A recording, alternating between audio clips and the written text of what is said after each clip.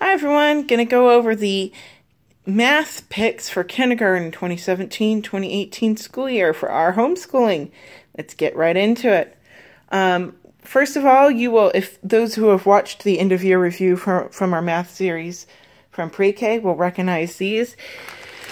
Um, these are what we use, these foam shapes and Coke bottle caps are what we use for counters and math manipulatives. Um, we will be doing the Horizons Homeschool, um, math, the Horizons math curriculum. Um, we have switched from the mathematical reasoning, which those might might remember that we did love it. However, last year we didn't like that we didn't have a uh, teacher's guide, and math and the Horizons math does come with a teacher's guide. Um, however, I will warn you for those who don't want a Christian curriculum creeping in this is a Christian curriculum, and I did find, and just flipping through it just quickly, we've only found the the one lesson so far referencing Christianity, and it is this le the last lesson of the book at all, which is God used numbers to put the world in order, match the the day to the ordinal number. And this is the only Christian reference that I have found in the series. Doesn't mean there's not others, but it is a Christian book. And for those wanting to avoid that, I just wanted to be sure that that put in there. We picked it because, like the mathematical reasoning, it was a spiral approach. Um, bright, colorful, um, gentle, and this is book two. So if you're looking at this going, wow, this isn't what they start with. Um, there's a lot of clock stuff in there for my clock obsessed daughter. She is just thrilled that she gets to learn about the clocks this year. She is just anxious and asking me, is it August yet? Is it time to start yet? Um, so this is what we'll be doing for um, our main math. Um, we have a few supplemental things that we'll be doing. Um, when we were at Costco, my daughter found the Star Wars series asking if she could get it. And we had the pre-K one that she kind of just did as fun stuff and just to kind of scribble and color in. But when I got this home and I said, sure, I'll look at it. And it was fairly cheap for this plus two language arts books. Um, it was fairly cheap. I can't remember how much it was. But when I flipped through it, um, it's actually fairly good, like review stuff and working on the numbers and just reinforcing what, what we'll be learning in the Horizon stuff.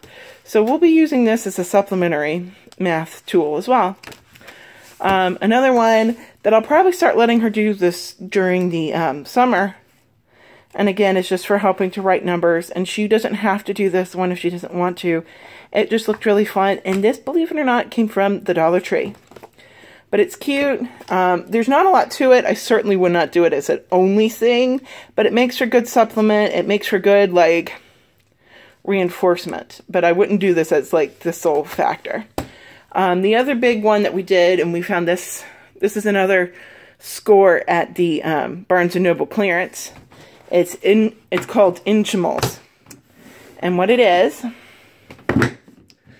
is you've got these blocks, which, ta-da, each of these segments is an inch, hence the word Inchimals. And these things, they're actually an inch square. And so this is one square inch completely. That's an, an inch cube.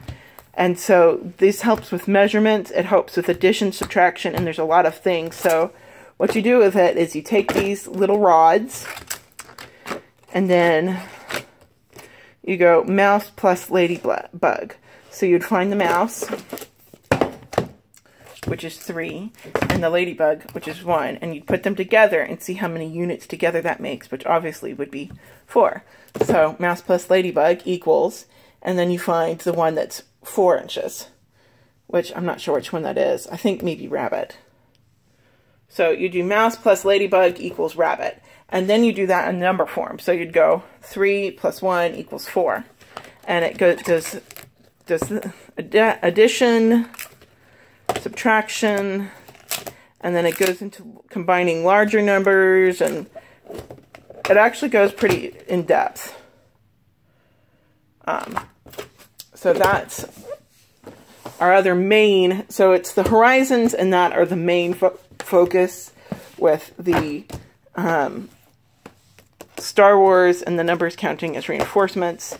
We also have this tiny polka dot. It's a number card game, and um, which came and and it's a number card game with different kind of games, and there's numbers and dots on it. And I really liked it because um, I really want her to really get a strong grasp and the getting to see three dots and knowing just without having to count it. Three dots, that's three.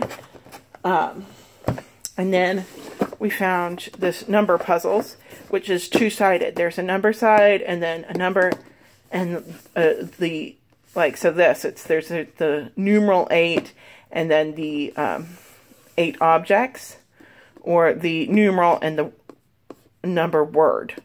And we like that because it kind of helps to teach sight words. It helps to, again, reinforce that number of objects is that number kind of thing. What we got from where? Um, Timberdoodle used to sell this. This is where I first heard about it. I don't think they sell this anymore in their curriculum. We found this at Barnes & Noble on clearance. I don't know if all stores will have this, but that's where we found it. Um, this Star Wars book set, workbook set, actually came from Costco. Um, this came from the Dollar Tree, this Disney numbers and counting book. And then the Horizons and the Tiny Polka Dot came from, Tim was part of our Timberdoodle kit.